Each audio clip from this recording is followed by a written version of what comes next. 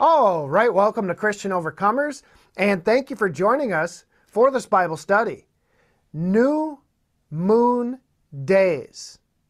Last study we documented that moons equal biblical months. And that's pretty easy to do. All one has to do is get out their Strong's Concordance and look up the word month, as well as the word new moon. And you find out that it's the same Hebrew word for, for both of those words and you find out that that word is Strong's word 2320 and it's pronounced Chodesh. It's from 2318, meaning the new moon, or by implication, a month. And it has been translated, as you see there, both as a the word month as well as the new moon. Notice it didn't say there that um, Chodesh meant um, a month, but by implication a new moon. It didn't say that at all. And the reason being is that the ancient Hebrew calendar, as well as many other ancient uh, calendars in other civilizations, simply went by the moon, from one new moon to the next to determine their months. It, it's the easiest it's the easiest sign that man can go by. A farmer out in his field can look up the, the night before and know what tomorrow is because he can see what, fa- what phase the moon is in, what, what that signal is that Almighty God is giving us. As Genesis 1 verse 14 declares that God would, would give us the calendar in the heavens. And the moon just happens to be the minute hand. And without it, you wouldn't be able to tell time. You wouldn't be able to tell time accurately. Um, because it's just the same as if you ripped off the minute hand off of your clock today. You may kind of know what the hour is, but you don't you don't really know what you know what minute it is. And again, it's the same with God's calendar. The moon is like the minute hand, and the sun the hour hand. So you can't just have one or the other. It doesn't work that way. And um, by the end of this study, I'm going to prove beyond a shadow of a doubt for those people who, who try to believe in a solar only calendar that even, eh, by the way, stemmed uh, most likely from the pagan Egyptian calendar. I'm going to prove that I'm going to prove them wrong when they say that whenever the word Chodesh is used, it has been mistranslated into the King James Bible, as well as virtually every other version of the Bible, as um, as as the word uh, new moon. In other words, whenever they see the word new moon there, the solar only people who seem to like to, in this case, anyways, add to and take away from God's word say that whenever new moon is mentioned, it's a, it's a faulty translation. They really screwed up big time, and it should only mean month or a period of time. Yet they cannot define what that time period is in God's Word. And, um, and so forth. But I'm going to prove that, that to be wrong by the end of this study. So don't miss out on any of this study. Um, basically, in other words, when you look at the moon, um, one complete lunation from a dark moon or a new moon, and we're going to go into this in the, in the study. From the dark moon, as it lights up, as it waxes, and then as it wanes, all the way back to a dark moon, is one complete biblical month. It's that simple. But today we're going to get into that a little further, and we're going to find out that those dark periods where the moon is just dark, are actually days within themselves. They're called new moon days on God's calendar. I know many people, most Bible students, um, when reading the scriptures, they come across all these scriptures, uh, some of which we're going to cover today, where it mentions the new moon, and they kind of just gloss over it. They say, well, what's that? And they don't even really think twice about it. I was one of those. I was one of those. I just I didn't know what new moons were. I just I don't know. I don't even know why I didn't look into it. I suppose it wasn't time for me to really understand at that time. But you know, there are a lot of scriptures that mention the new moon days. And um, we're going to get into that here today. Well, first, let's look at some of these here. Um, 1 Samuel 20, verse 5 is a place where the new moons, new moon days are mentioned, and we're going to list off a bunch of them here. So bear with me, and I think we'll make this slide available on our website as well. If you just click on uh, our newest video study page, we're going to try and add a lot of slides, a lot of the slides we put in our videos on that page, on that page in case there's um, a slide you want to go back and analyze a little closer. So we find it find new new moon days mentioned in uh, 1 Samuel chapter 20 verse 5. 1 Samuel 20 verse 18. 1 Samuel 20 verse 24. 2 Kings 4 verse 23. 1 Chronicles 23:31. 2 Chronicles 2 verse 4. 2 Chronicles 8 verse 13. 2 Chronicles 31 verse 3. Ezra 3 verse 5. Nehemiah 10 verse 33. Isaiah 113. Isaiah 114. Isaiah 66 23. Ezekiel 45, verse 7. Ezekiel 46, verse 3. Hosea 2, verse 11. Amos 8, verse 5. And Colossians 2, verse 16. And you know what? These times here, all these scriptures I have listed here, are only actually um, the days that the King James translators have translated the word Chodesh into the English words new moon. But there are hundreds of other verses in the Bible where the word Chodesh is used. And it has been translated as months. But it's the same meaning. It's the same meaning from new moon to new moon. As the slide there says, the word month, Chodesh, means new moon. And here on this slide um, is an alignment.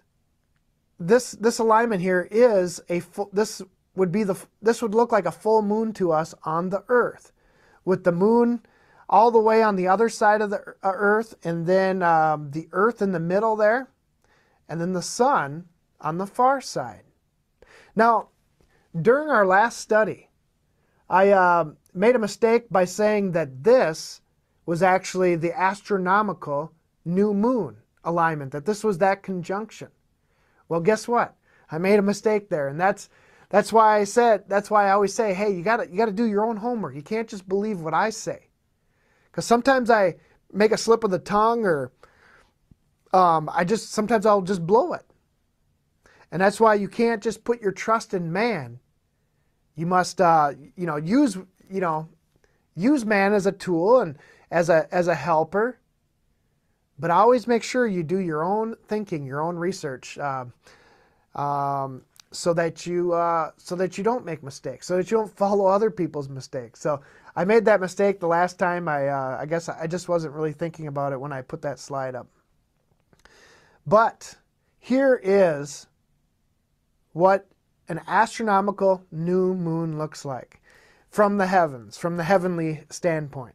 You have the um, you have the Earth there, and then the moon actually comes in between, in between the um, in between the sun and the Earth there, and that's how you have. And there, there you see, you even see a shadow there, um, dark shadow towards the on the earth side there. That's what we see. Because the sun is actually lighting up the backside of the moon, but we don't get to see that. We only see the dark side.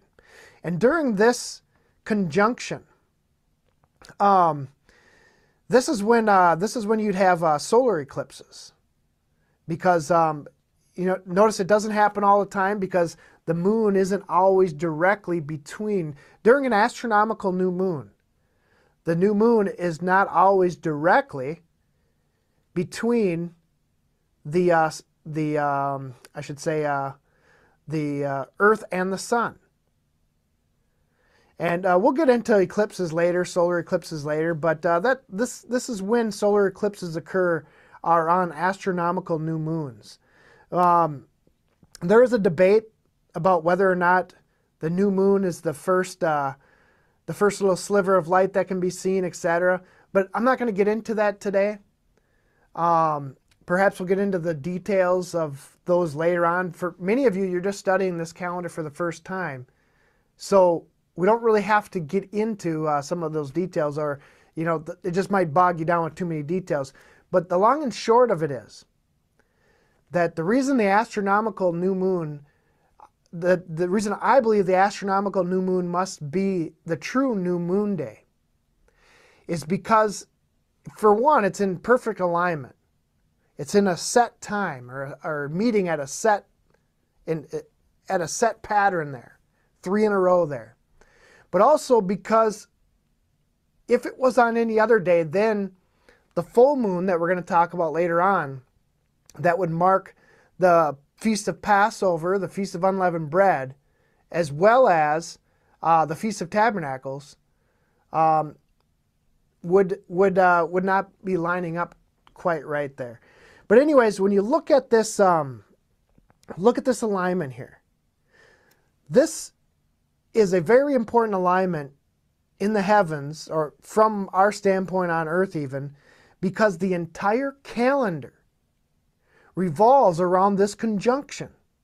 This is one of the major appointed times from month to month to month. It, in fact, without this conjunction here, you would not be able to determine months, Sabbaths, even, the feast days, as well as New Year's Day, according to God's calendar. So this is a, this is an important conjunction, and that's why I put it on the screen there. Um, let's move on. And uh, I got a verse up here. This is this verse is very important. I'm going to read it here. It's from Isaiah 66, verse 23, and it says, "And it shall come to pass that from one new moon to another, and from one Sabbath to another, shall all flesh come to worship before me, saith the Lord. Isaiah, again, Isaiah 66, verse 23. From one new moon to another. We'll, we'll talk about that verse a little later on. But here we go. Here's a, a um, little diagram here for us to, to help us understand uh, where the moon is on uh, certain of these different phases. And um, first of all, we'll recap the new moon. There you see it in between the sun and the earth. That is a new moon for us on earth. And then we move over to what a full moon looks like. Now, a full moon will be way on the other side of the earth. You see, it just keeps going around in a circle, round and around and around. That's the moon is the Earth's satellite. It's it's again the minute hand on Yahweh's clock. His, it's his timepiece.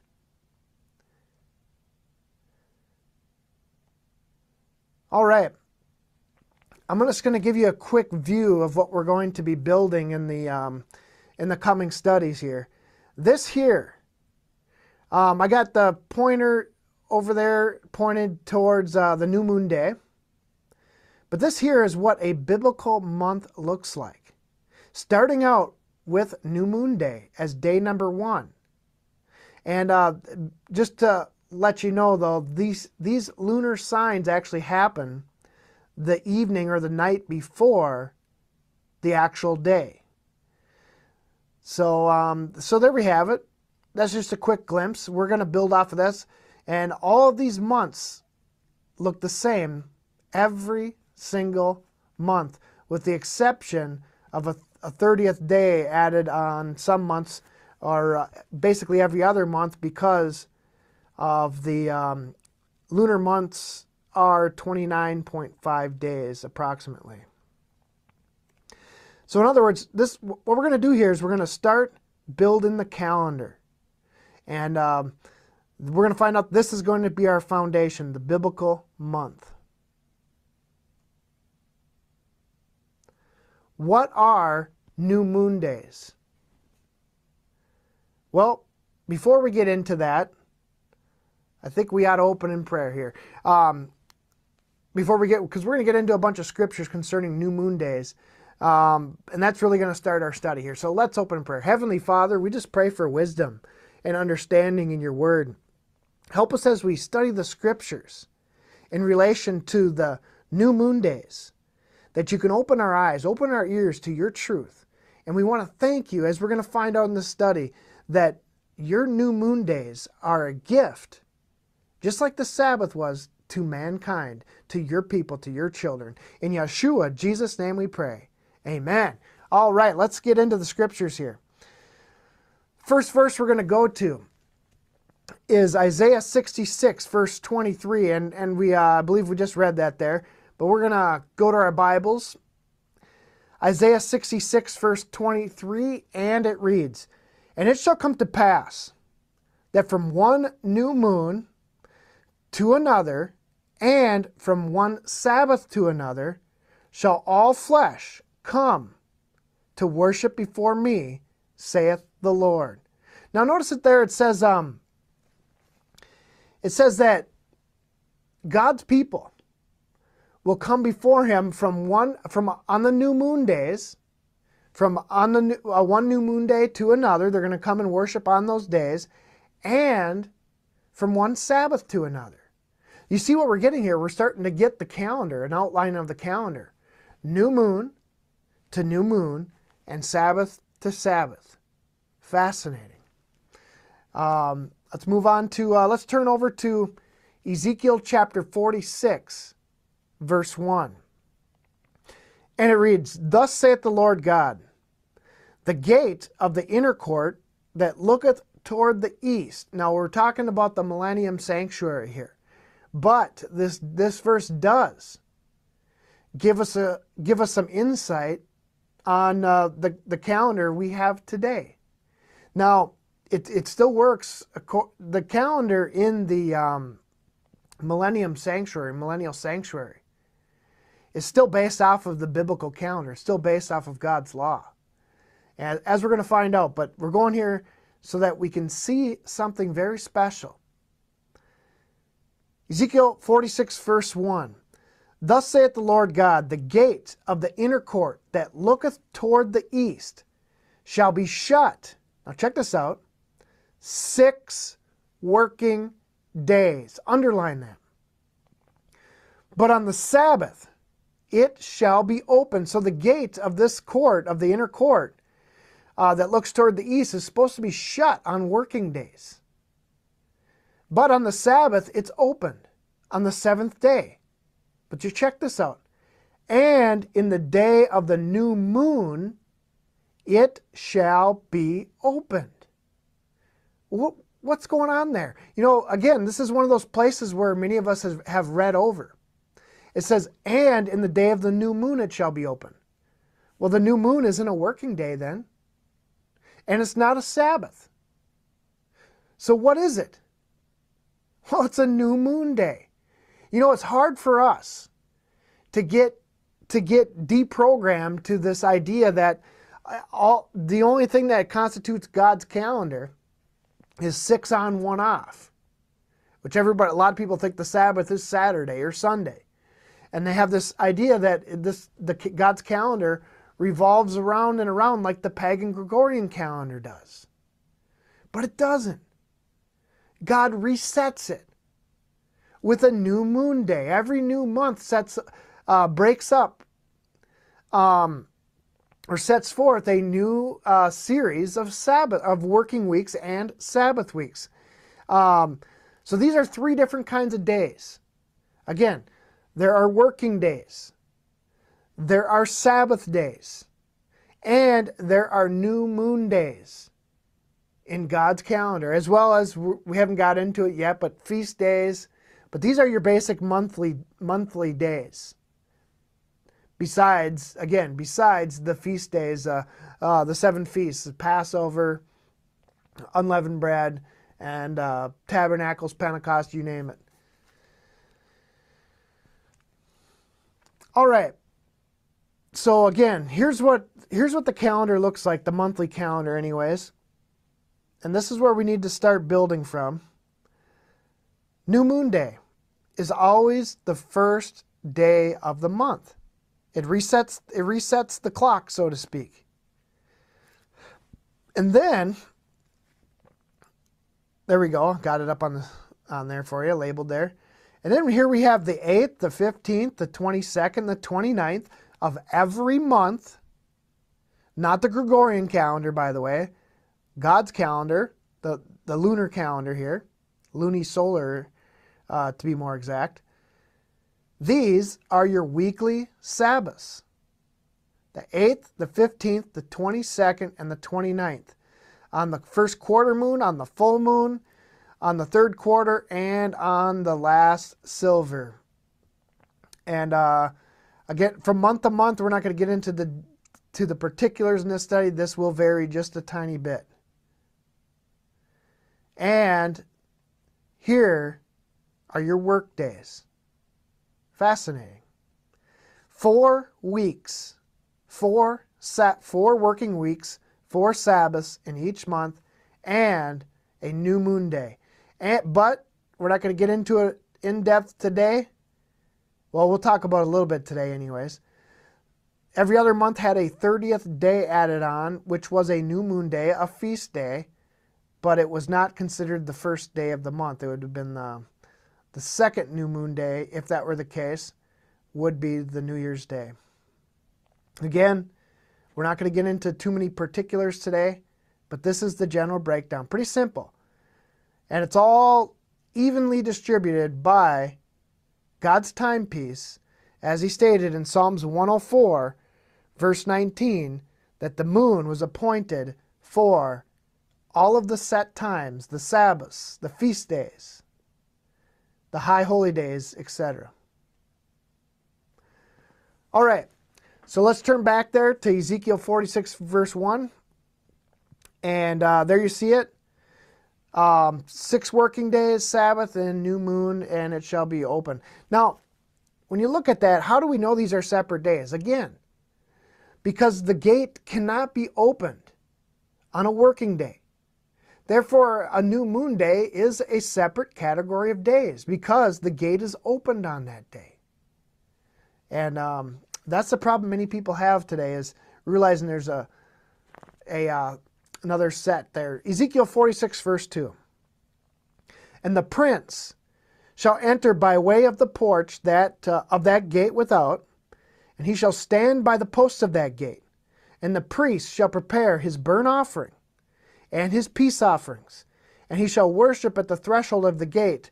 Then shall he go forth, but the gate shall not be shut until the evening. Now, I, a thought just came to my mind here. Notice it's, it's talking about new moon days in reference to the gates and the Sabbath and so forth. A lot of people mention that the, that the sun is going to shine into the temple and tell us, um, tell us the, uh, the solar calendar. But it doesn't there's no mention whatsoever of the sun shining into the temple here. It only mentions new moon days. Think about that. Ezekiel 46, verse 3. Likewise, the people of the land shall worship at the door of this gate before the Lord in the Sabbaths and in the new moons. So, what are new moon days? What have we gleaned, gleaned this far? Well, new moon days are worship days. We know that we know that from the scriptures we've read now. A separate category. They're not Sabbaths, but they still are worship days. In other words, they don't carry forth some of the uh, stricter regulations uh, for rest. So new moon days are kind of a, a fascinating day, kind of a fun day. Let's turn over to Amos chapter 8, verse 4 now. And it reads, Hear this, O ye that swallow up the needy, even to make the poor of the land to fail. Okay, talking about those who are those who are greedy, those who are trying to rip people off. Verse 5 saying, When will the new moon be gone, that we may sell corn, and the Sabbath, that we may set forth wheat, making the ephah small and the shekel great, and falsifying the balances by deceit. Now, I don't even have to mention uh, to many of you who this verse is referring to, in large part. It's referring to the Federal Reserve System that falsifies the balances of our currency by inflation, by making the dollar, the dollar that you had in your bank account now worth less because they keep tipping the scale. They keep tipping the scale by pumping more money in, and it just goes like that. And yours becomes less. Um, so what does it say here? There are evil, greedy people here back in the back in during these times that were waiting for the new moon to be gone, as well as the Sabbaths, so that they could so that they could start ripping the people off again. So they could sell their goods. But you know what that says there? It gives us another clue about what new moon days are. They are non commerce days, non business or trade days. Now, you could probably do work around your house and things like that that uh, the Sabbath sort of prohibited. Uh, you could light fires, campfires, and, and things like that, and cook, cook big meals, have a feast. But um, you, this was a non working day, so to speak. Um, but something else uh, for, for you deeper students that are really uh, starting to catch on to some of this stuff here. Notice it says when the people are saying, these con artists are saying, when will the new moon be gone? Now, this definitely looks forward to, you know, when they want, um, uh, I'll just say it this way. It is possible that this scripture could mean that, you know, because sometimes there are two new moon days in each month that perhaps these people here, thinking about that, are not sure if it's going to be a, a, a month with one new moon or two new moons, and they just want to get back to business.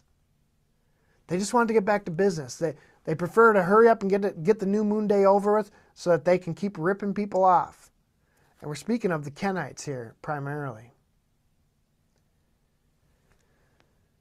All right, there, there is new moon day first day of the month. And here's what I was talking about. Sometimes they're um, basically it's about every other month that there is a uh, second new moon day when the moon is dark, and that that counts as day number 30 if there are two of them. All right. Let's turn over to 1 Samuel 20, verse 18. We're going to keep reading about these new moons here. Then Jonathan said to David, Tomorrow is the new moon. Again, how many of you have really stopped to think about what this is what he's saying here? Tomorrow is the new moon. Well, he says, Tomorrow is the new moon, and thou shalt be missed, because thy seat will be empty.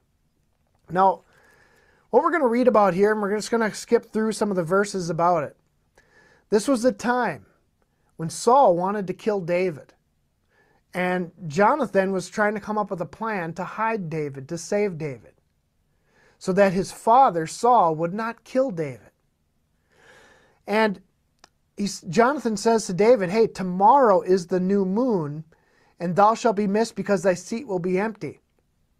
Now, this, this tells us a lot about what happened on new moon days. One thing right off the bat is that that people are able by um, observing the days before the, the astronomical new moon, they are able to determine, again, by observation, when the new moon will be. For one, it'll always happen after the, the 29th, of, after the last uh, Sabbath of the month. And you know tomorrow is the new moon. And um, And anyways, he says here, "Thou shalt be missed, because thy seat will be empty." What what was going on? Well, there was a time. This was a feast day. New moons were feast days, and David, being that he was, you know, uh, close to the um, to Jonathan and and uh, part of the kingdom there, was to sit with King Saul during this feast, during the new moon feast. Let's move on. Let's skip on down to um, 1 Samuel 20, verse 24. So David hid himself in the field, and when the new moon was come, the king sat down to eat meat. Okay, so everybody got to, they sat down with the king, and the king held a feast with his servants on new moon days. No, and another thing too, this is this would be a good day for David to hide and not be seen because during a new moon it's pretty dark out there. Skip on down to 1 Samuel 20 verse 25 and the king sat upon his seat as at other times. In other words, this was a reoccurring thing. As as at other times means this was the practice. This is what was done on new moon days even upon a seat by the wall. And Jonathan arose, and Abner sat by Saul's side, and David's place was empty. It was a feast day. And uh, David wasn't there. So, so Saul knows something is going on here. Verse 26 Nevertheless, Saul spake not anything that day. He didn't say anything, he didn't make a deal out of it. For he thought, something had hath befallen him, something hath befallen David. He is not clean. Surely he is not clean. That's what uh, Saul was thinking. He was thinking that David, for some reason, is unclean. I don't know whether he touched a dead body or um, whatnot. Excuse me. Verse 27 And it came to pass on the morrow, which was the second day of the month, and if you look at this in the Hebrew, this is, this is better, this could be better translated as not the second day of the month, but the second day or second new moon day. That David's place was empty. And Saul said unto Jonathan his son, Wherefore cometh not the son of Jesse to meet, neither yesterday nor today. Two, mo- two new moon days. This was a 30 day month. As well as I think at this time, all, all of the months were 30, day, 30 days long at this time because the, uh, I believe at this time, this is another topic for another time in this series, that the original calendar the original solar cycle as well as the lunar cycle were both 360 days each, um, timed out to be um, um, it, synchronized with each other. In other words, they wouldn't have to add a 13th month every uh, three years. All right. Here we go. The signs always come the night before. And there we have it. New moon day, there are two moon. Um, this is what a 30 day month looks like again, with a new, a new moon day or a dark moon added on at the end of the month. And then I got a little arrow pointing up there. That's where the 30th day would be from the prior month.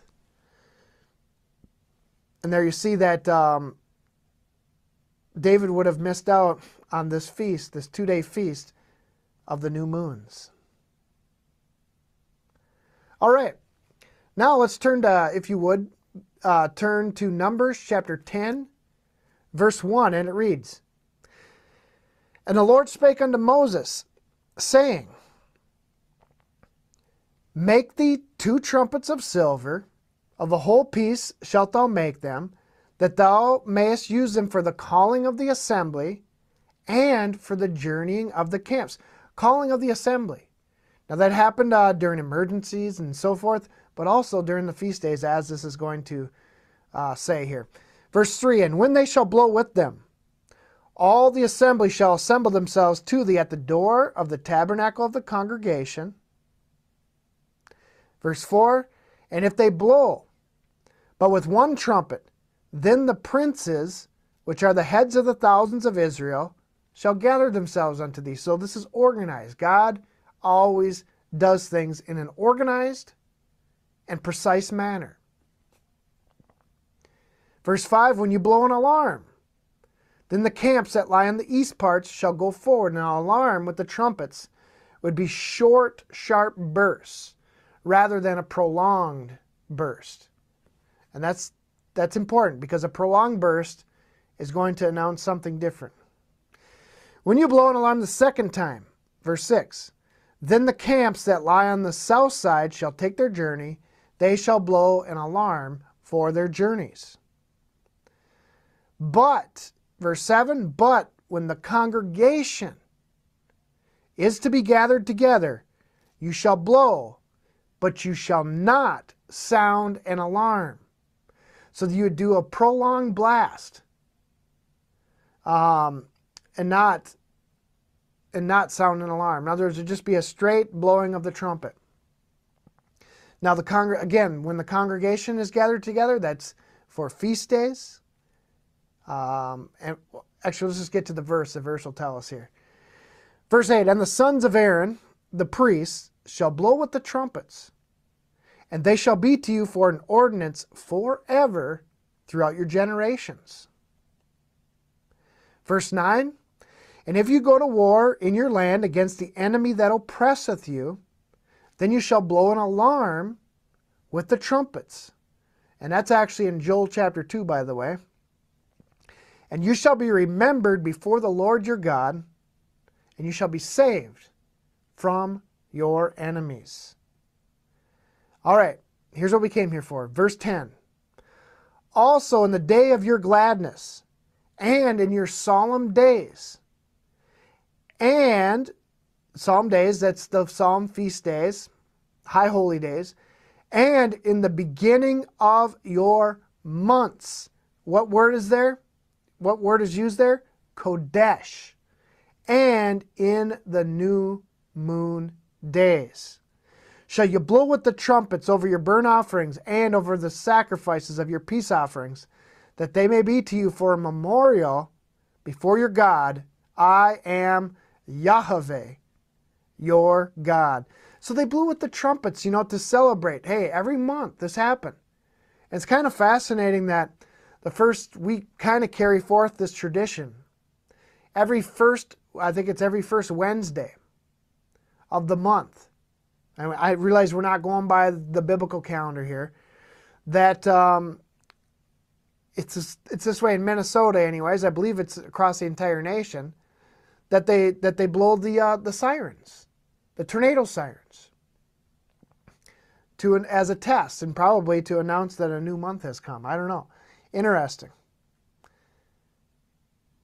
All right, let us turn to Psalms 81, verse 1. And um, in this in this uh, in these verses we're going to read here, I think we're getting towards the end of our pre- presentation here, or end of our study. we're going to find out uh, in Psalms 81 here that the word Chodesh must for mean new moons for each month. In other words, these verses here are going to complete, along with many other verses, but these verses alone that we're going to read in Psalms 81 eliminate the possibility of a solar calendar, a solar only calendar, I should say. Um, and here we go. Verse 1, Psalms 81, verse 1. Sing unt- aloud unto our Sing aloud unto God our strength. Make a joyful noise unto the God of Jacob. It's time of worship. Take a psalm and bring hither the timbrel, the pleasant harp with the psaltery. Here it is. Verse 3 Blow up the trumpet in the new moon, just as Numbers 10 stated. Now, check this out. In the time appointed, on our solemn feast day. Now, this is important. They're supposed to blow up the trumpet in the new moon there, but also in the time appointed. Now, the time appointed means something different than what appears on the surface. And this is so important. In the original Hebrew manuscripts, it should read like this Psalms 81, verse 3 Blow up the trumpet in the new moon during the full moon, also, also during the full moon, on our solemn feast day.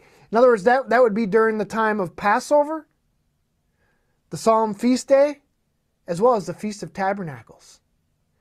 That there is always a full, this, this verse states here, there is always a full moon during those feast days. So, what does that tell you? The lunar calendar, as far as months is concerned, is the only calendar that can work out. This seals it along with other places I said last week sealed it. The word itself seals it. There is so much biblical evidence, overwhelming biblical evidence for a solely lunar calendar. That in order to try to say that we are to go by, that all this is just mistranslations of the word Chodesh and that the Israelites really used a solar only calendar, that's taking away from the Word of God, my friend. It's taken away from the Word of God. Um, again, the, the pagan Egyptian calendar was a solar only calendar. Think about that. Um, the other verses that, that eliminate the possibility of a solar only calendar, in other words, that the sun determines the months, is Psalms 104, verse 19, where the moon was appointed to determine the feasts, the Sabbaths, and the new moon days, as well as Genesis chapter 1, verse 14. But I always think that's fascinating that on those solemn feast days, when all the Israelites were gathered together, that God lit up the sky at night for them. Like, take for instance the Feast of Tabernacles. Um, when they're out there in their tents, the, the sky was lit up all night long. So the Israelites could probably stay up a little later, you know, when it's dark, talking to each other, fellowshipping. Um, if they have to get up in the middle of the night and go to the bathroom when they got all their tents there, they can see. You can see pretty good during a full moon. You're not going to stumble and fall on somebody else's tent. God does everything so natural. But with this sporadic solar only calendar, this the moon is just the moon would just be floating around there doing nothing, providing n- no rhythm or rhyme for, for giving light to the Israelites during their certain during their feast days. As Genesis chapter 1 declares, the moon should be for. Can you see the, um, the error now in the solar only calendar? It's time we fix these things, get these things right and go with God's natural calendar, the Creator's calendar, rather than man's twisted up, garbled up uh, attempt at making his own calendar. Well, again, somebody, somebody might be thinking right now, well, how can you say that that word means the full moon? Now, again, in order for the Passover to fall on um, a full moon all the time, each month has to start on the new moon because a full moon is 15 days after new moon day. Okay? But here's the definition here. From the Blue Letter Bible online, that word full moon in the Hebrew there is the word kaseh. Kaseh. And it means the full moon. That's, that's what the meaning of this word is. And if you got a paperback uh, Strong's Concordance, you can look it up there as well, and you'll find out that it means the full moon. That's it, my friends. From new moon to full moon. You see here, these are the set times in God's Word. As this verse states here, Psalms 81, verse 4 For this was a statute for Israel and a law of the God of Jacob. The new moons and the full moons, as part of God's timekeepers, are laws. They're part of God's law.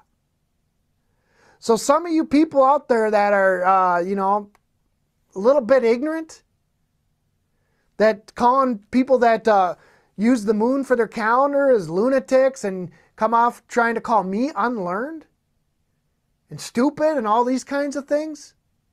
You better wake up, my friend, and read the scriptures. Anybody can take verses in the Bible and say, oh, that's a mistranslation and make their own doctrine. Come on. There's too many places, along with nature as a witness, the creation, that document that the moon is used for uh, a set time that, that we can build off of for the Sabbaths, the feast days, and other days, and, and everything else in God's Word there. Well, what are new moon days? Let's sum this up. They are not work days. They are not Sabbaths. They are days of worship. They are feast days. And they began the new months. That's what new moon days are. As it is written, and it shall come to pass that from one new moon to another, and from one Sabbath to another, shall all flesh come to worship before me, saith the Lord. Isaiah 66, verse 23. And there you see the heavenly alignment there. That is the foundation of the Creator's calendar right there. Well, that's it for today. Hey, don't miss any of these studies. We're going to keep building from that foundation. Again, the new moon. Why, why, Pastor ben why is Pastor Ben repeating this all the time? Am I a moon worshiper? Heavens forbid. I just know, I, I just want, should say I just know, I'm just doing my best to understand the timekeepers God has placed in the heavens. You know, man can change his calendar and they, they can pass laws to make new calendars and new calculations.